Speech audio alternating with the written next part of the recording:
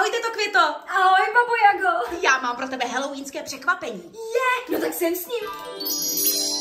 Co to je? To je přece dýně. A co se s tím dělá? No, uvidíš.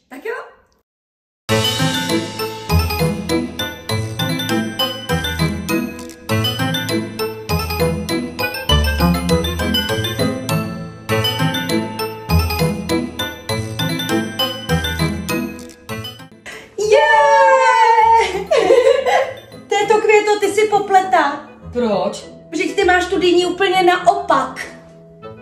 Hm. Aha.